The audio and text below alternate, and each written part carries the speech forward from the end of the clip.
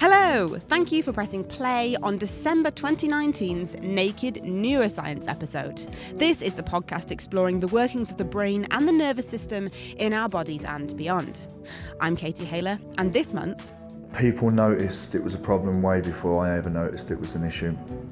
My partner used to approach me quite a lot uh, when I would come in from work and try and stop me playing the computer, trying to get me to spend time with her and my children. And even then, even though it was consuming my life outside of work, I never really saw it as an issue. Back in October, we delved into what addiction is, and what might make some people more susceptible than others to addiction, and what could be going on in the brain. But what about problem gaming? What is it about gaming that some people get addicted to? And what can we do to help? In today's episode of Naked Neuroscience, we'll be finding out.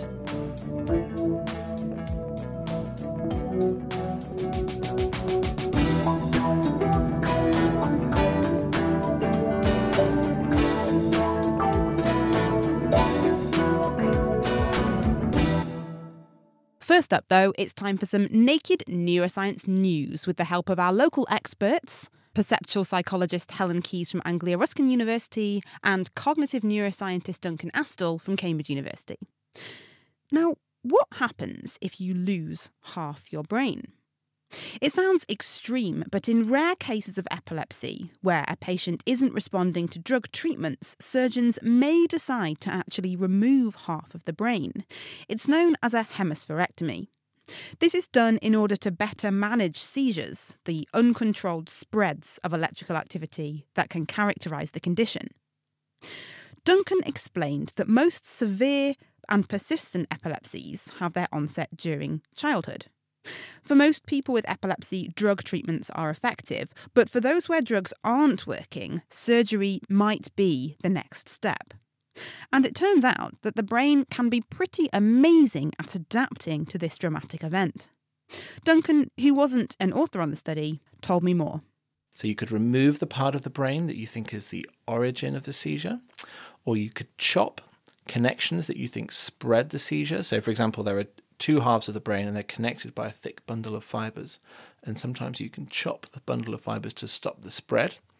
Or in very extreme cases, you can perform what's called a hemispherectomy. And that's where surgeons will remove half of the brain to stop the epilepsy. And that's how you can lose half of your brain following epilepsy. So, what this paper is doing is following six individuals who had a hemispherectomy when they were children. So, hemispherectomy is typically done in early childhood, so usually um, before around the age of three these people are then seen decades later when they're adults. And it might surprise you to find out that actually the cognitive and behavioral and motor outcomes are remarkably good. Normally, if you met someone, you probably wouldn't know that they had had it done. And of course, that raises the amazing question of oh, they've lost half of their brain. How is it that they're able to function so well? And that's what's being explored in this paper. And so they took the individuals and they put them in a functional magnetic resonance imaging scanner or an fMRI scanner. And what that is able to do is look at which parts of the brain are active and use that to identify different brain networks. And the first finding they had is relative to individuals who have not had this procedure those who have, their brain networks in the preserved half of the brain are remarkably similar. So, all the classic brain networks that we would see in a typical participant are present in these people who have lost half of their brain. And just for clarity, are brain networks regions of the brain that talk to each other in particular ways?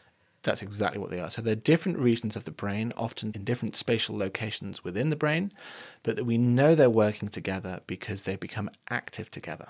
So the half of the brain that is in use is compensating in some way then. What's what's going on? Well, that's one possible explanation. And so what the authors of this study were able to show is that whilst the networks themselves are all much the same as they would be in somebody who's not lost half of their brain, the exchange of activity or the exchange of information between these networks is significantly greater in people who have lost half of their brain, i.e., the crosstalk between the networks seems to be enhanced in people who have lost half their brain. And so, one account of this is that what the subjects gradually develop the ability to do over many years, indeed decades, is to bring online extra networks for a particular task that wouldn't typically be used for that task in someone who hasn't lost half their brain. But because they need the additional resource or the additional activity, that that's recruited in order to support the performance of the network that's really being tapped by the task. So gradually over time, as the brain develops, the connections between the networks become stronger. That's amazing. Does anybody have this surgery later as an adult when they've done some of their development? Do you think that would make a difference? I think it would make a difference, and so they, it can be done. It can be done later. So it can be done in later childhood or in adolescence. That's exceptionally rare. And the reason that it's done much more rarely in those ages is because it's seen as much more drastic. And the, the advantage of doing it early is that it gives time for the rest of the brain to compensate, such as the high degree of plasticity. It means that gradually over time, functions meant to be, tend to be maintained and typical development can happen. Whereas if you wait until the brain is more fully formed and then you remove half of it, then the hurdle is that much greater being able to survive and thrive with half a brain seems amazing to me. As a brain expert, is it surprising to you? Yeah, it's really surprising. So we spend all our time thinking about what little pockets of neurons here, there, and everywhere are doing, what their special contribution is. And then to find a group of people who have lost half of their neurons in one fell swoop is remarkable. And the very fact that they can function and live normal, happy, entirely productive lives is an amazing testament to just how adaptive and plastic the human brain is.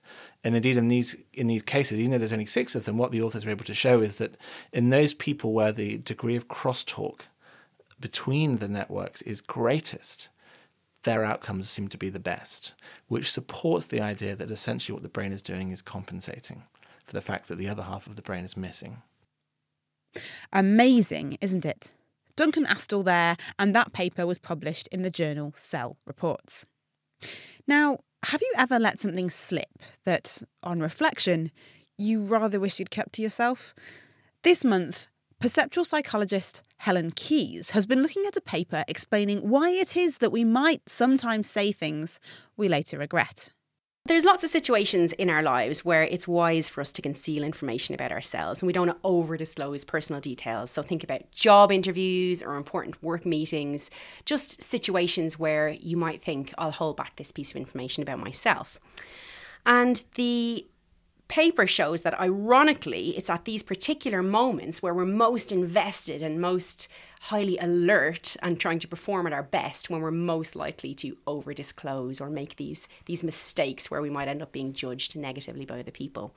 And by alertness, what exactly do you mean? Well, the authors call it affective arousal. And when we say arousal in this context, we don't mean sexual arousal. We simply mean a kind of state of readiness. Your systems are really go. You know, you're in that high alert, very awake place. When we talk about this affective arousal, we can mean cognitively being in a heightened cognitive arousal situation or emotionally aroused, or even just physiological, like going for a run, that type of arousal when your systems are really on. You can imagine that there's lots of situations where we're in exactly that, those moments where we don't want to disclose personal information. The idea behind this is that it requires quite a lot of effort to suppress information about ourselves. If you think about the famous example of don't think about a white bear, and then of course it's all that you can think about, when we're going into these important heightened situations, we often think, don't say this, don't say this, don't tell this piece of information about yourself. You're concentrating quite hard on not talking about a particular personal piece of information, that it's quite there at the front of your mind.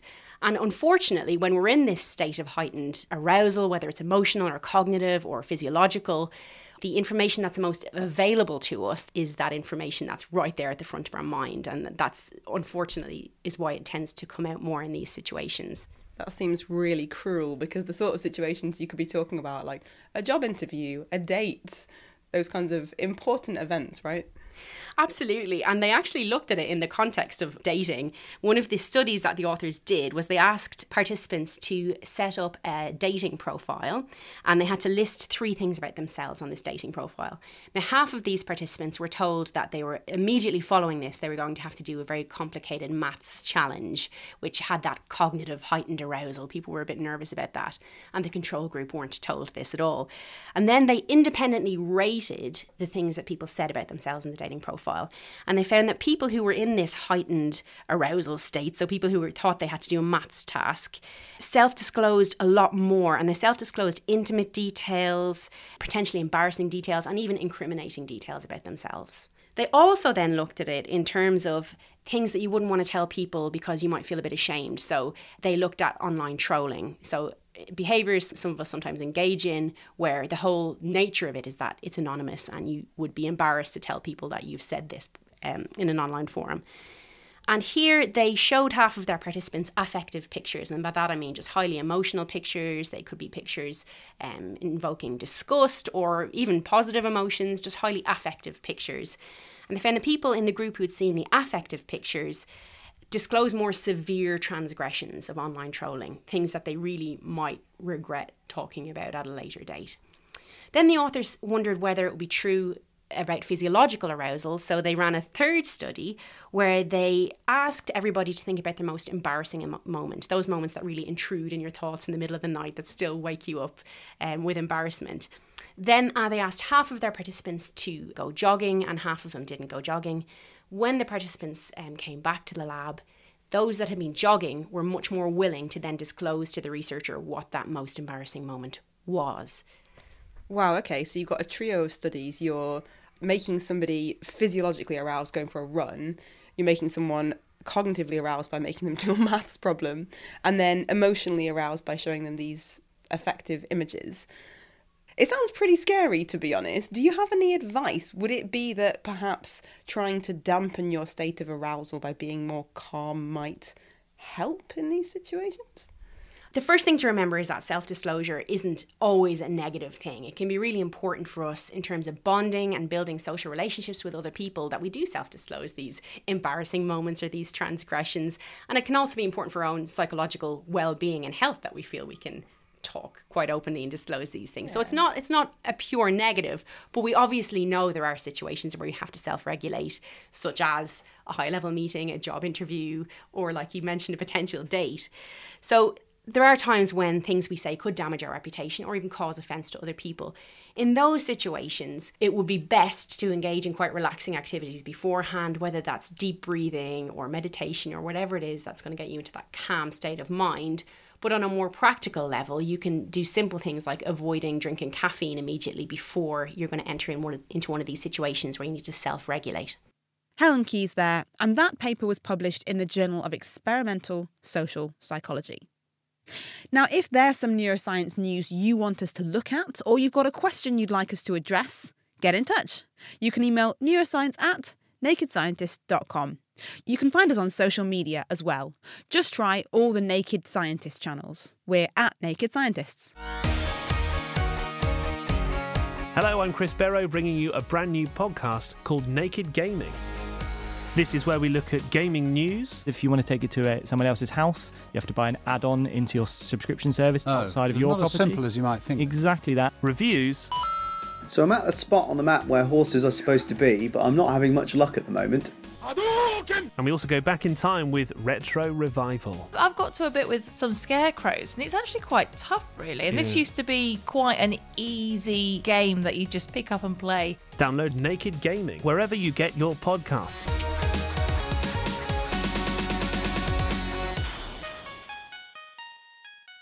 Music in the programme is sponsored by Epidemic Sound, perfect music for audio and video productions.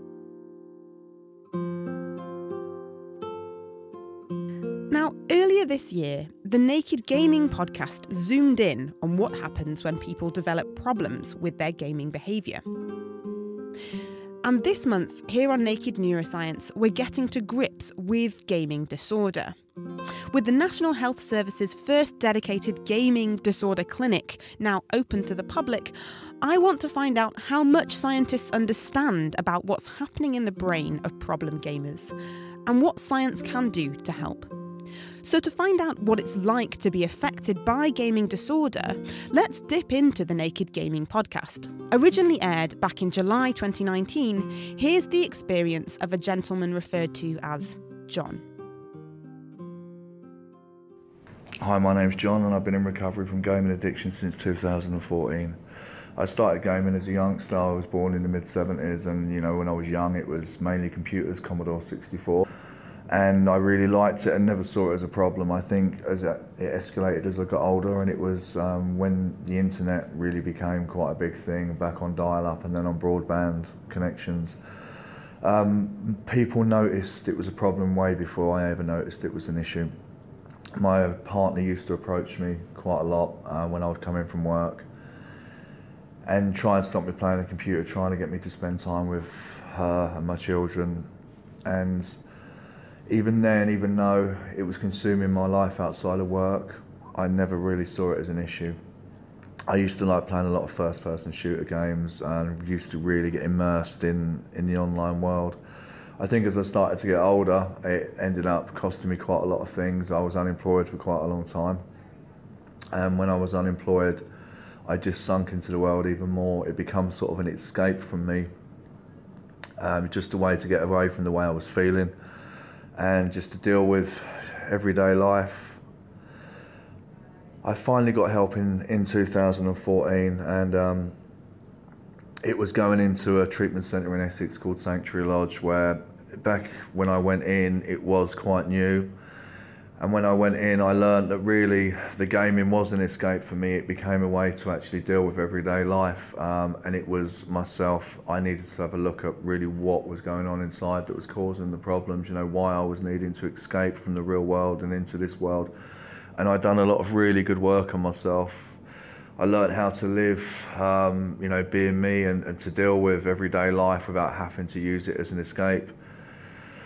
I since leaving the treatment centre, I've had varying degrees of actually staying completely abstinent. I don't believe for someone like myself that there is any moderating it. it. For me, it would come under the same category as any other type of addiction. I have, over the last sort of four and a half years or so, convinced myself um, on a couple of occasions that my time away from it would qualify me, you know, to be able to do it normally.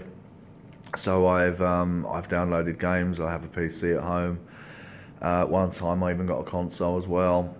And what I noticed with it was in a day or so, I'm back to doing what I was doing um, and it consuming my life again. So I now have to look at it as complete abstinence from gaming, which, you know, can be difficult for me because I always enjoyed um, the competition. Um, I almost looked at it as like a sport. Now, I've heard people say that, you know, gaming should be banned. Even Prince Harry said that Fortnite should be banned. Um, I don't ever think that you can ban um, a game as a whole. I don't think really it's the game that's the problem. I think if you really look at it, it's more of a social aspect now. Um, the way people live, the way people are brought up, constantly seeking escapism in social media, gaming in general, and I think that's they're the things that need to be addressed and not actually banning some game.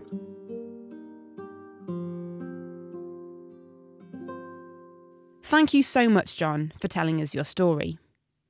Last year, the World Health Organization included gaming disorder in the 11th revision of the International Classification of Diseases.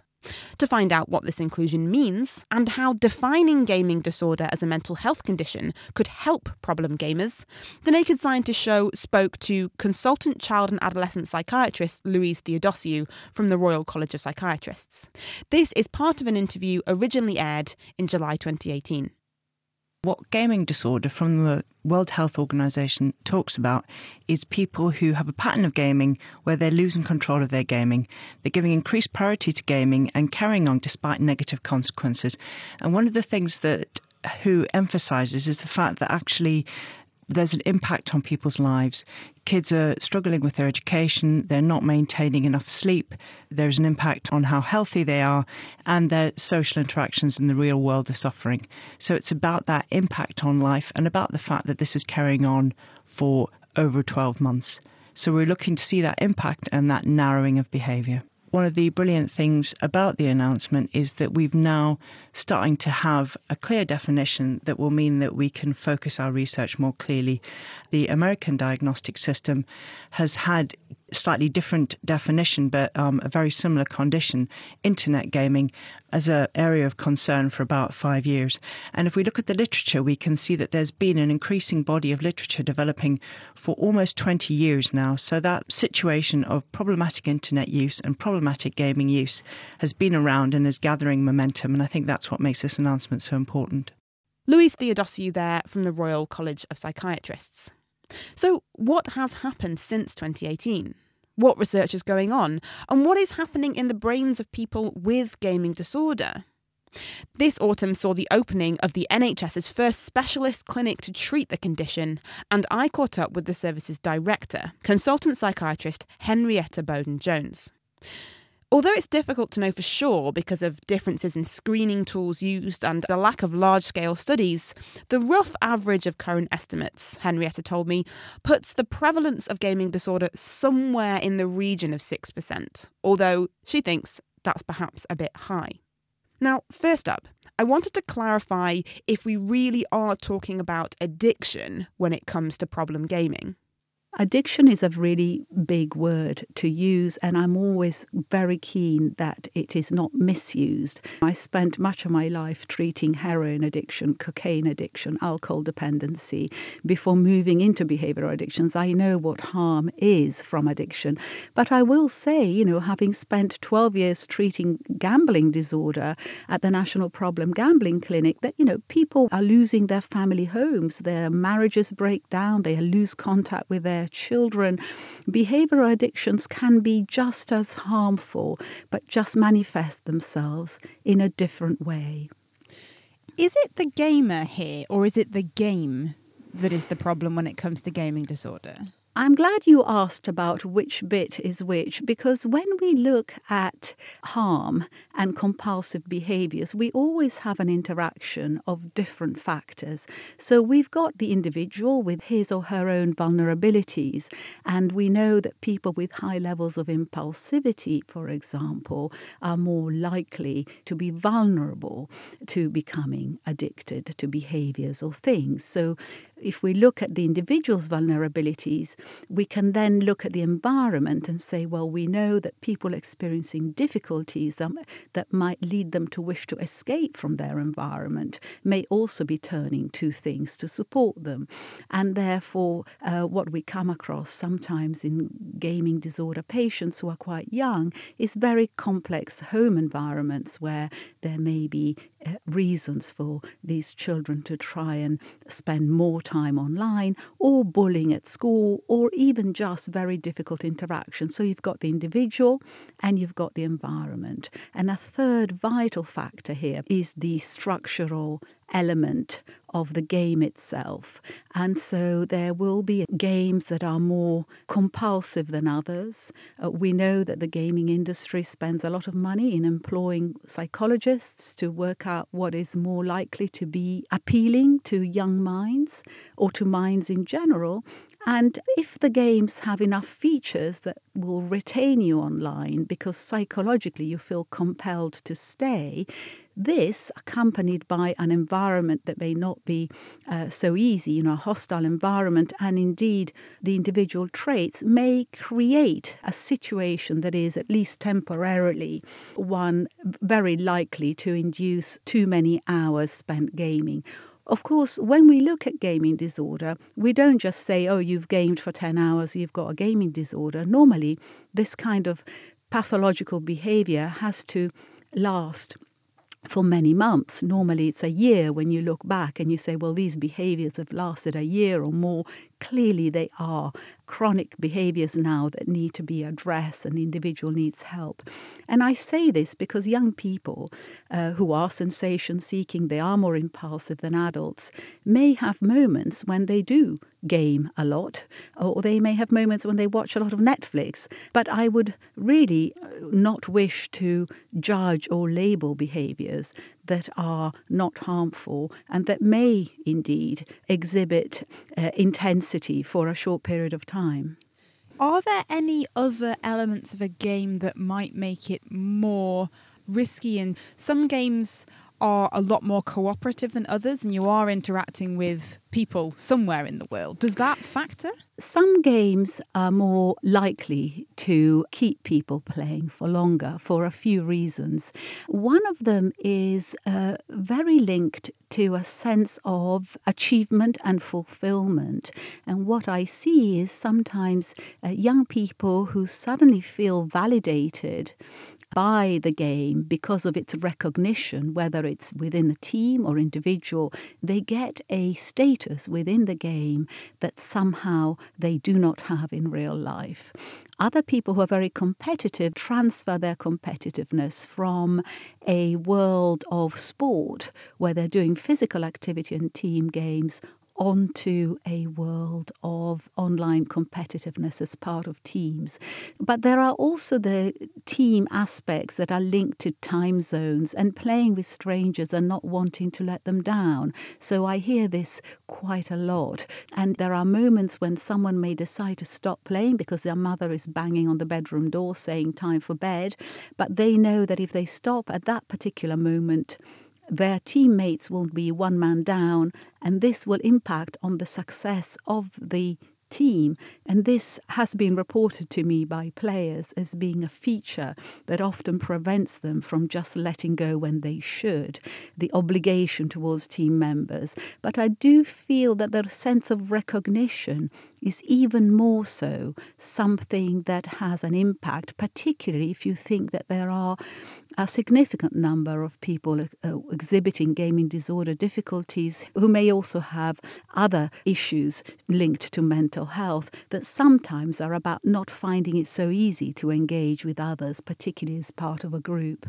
You mentioned impulsivity, but does the evidence indicate that susceptible people break down by any other characteristic? Is is age a factor or, or gender or anything like that? From what we know at the moment, the majority of people with gaming disorders presenting to treatment centres across the world are male. And I'm talking gaming disorder here, remember, I'm not speaking generally about internet compulsions such as social media compulsion, etc. But we're purely talking about gaming, and it does appear to be a predominantly male presentation. Now, as with all other diseases, whoever presents for treatment, whatever that ratio is, does not necessarily reflect as an indication of what is actually happening globally. It could be that only men feel that they can come forward for treatment and that there are just as many women not coming forward. And when we look at ages, we have roughly 12 to 22, 23 as the majority of presentations. Having said this, in the service that I run in London, the National Centre for Gaming Disorders, there are people who've called me up who are in their 40s who are delighted there is free evidence based treatment now available because they've suffered from this illness for a long, long time. So you may have the onset in your 20s, but you may, without treating it, continue to experience the symptoms.